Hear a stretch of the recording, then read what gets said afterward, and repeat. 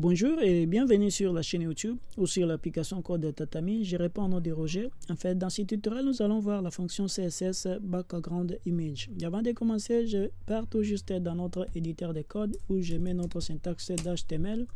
Je peux mettre par exemple Back Image. Maintenant, j'entre dans les body où nous allons mettre nos codes. Je peux mettre par exemple un div. Dans ce div, je peux mettre un H1 comme titre du premier niveau. Je peux mettre par exemple notre image. Et si j'enregistre ceci, je pars dans les navigateurs. Nous avons notre titre du premier niveau qui est notre image. Maintenant, c'est quoi les backgrounds? Les backgrounds est tout juste euh, l'image euh, qu'on peut mettre à l'arrière-plan de nos objets. Par exemple, cet objet ou cette euh, écriture qui est ici, c'est le titre du premier niveau. Si nous voulons changer toujours son background, nous devons donc aller ici, faire appel à l'élément aux balises style. Les balises style permettent tout juste d'appeler les fonctions CSS, de dire au navigateur que tu vas interpréter ces codes comme des codes CSS. Maintenant, pour que je puisse manipuler ou changer les backgrounds de cette, de cette écriture, je dois tout juste les cibler. On peut les cibler tout juste par son div ou élément parent ou lui-même les euh, child h1. Je peux mettre tout juste les div. Je pouvais ou, ou, les cibler aussi par classe. Je les cible tout juste par valeur parce que c'est les div et je prends tout juste les div parce qu'il n'y a pas d'autres div. Maintenant, à l'intérieur, je dois mettre maintenant cette fonction background image je peux mettre comme ça, je mets background image. Après avoir mis la fonction background image, nous devons donner donc euh, la valeur ou ça c'est l'attribut et de l'autre côté la valeur. Je peux mettre par exemple comme ça.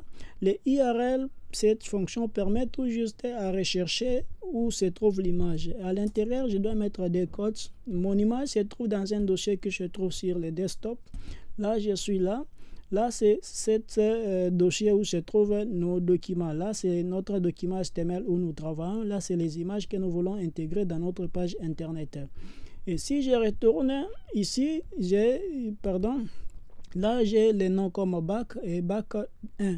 Là, c'est les noms des images qui sont en JPG. Maintenant, je pars ici, je peux mettre bac et je mets .jpg. Et si j'enregistre ceci, je pars dans les navigateurs et j'ai rafraîchi comme ça. Euh, vous voyez bien que notre background vient d'avoir la couleur comme bleu. Mais cette couleur est bleu parce que notre case est tout petit et nous n'avons pas spécialisé donc la position et la taille de notre background. C'est pourquoi dans la vidéo qui va venir, je vais vous expliquer comment redimensionner nos backgrounds. Je peux mettre par exemple euh, body ici, je cible tout juste toute la page entière. Et si j'enregistre, je pars de ce côté, si vous voyez bien que ça vient de changer, je peux mettre par exemple notre deuxième image qui est le bac 1. Et si je fais comme ça, vous voyez bien que ça vient de changer à la, deuxième image. Là, c'est l'arbre. Euh, en dessous, là, il y a des maisons. Pourquoi est-ce que ça ne se voit pas? Parce que nous n'avons pas manipulé notre background. Nous n'avons pas mis la position ou les sizes et aussi euh, comment est-ce que ça va se contenir dans notre div ou notre body. Donc là, il y a d'autres fonctions pour manipuler les backgrounds. Je vais vous montrer aussi d'autres fonctionnalités concernant les backgrounds. La fonctionnalité que je vais vous montrer ici, c'est ce qu'on appelle background image linéaire. Si je peux effacer ça. Là, nous avons tout juste les background image. Maintenant, je peux mettre li, euh, linéaire gradient. Gradient je crois, gra, gradient avec T, je crois. Maintenant, si je fais comme ça, je mets tout juste les parenthèses. Maintenant, de ce côté, je ferme.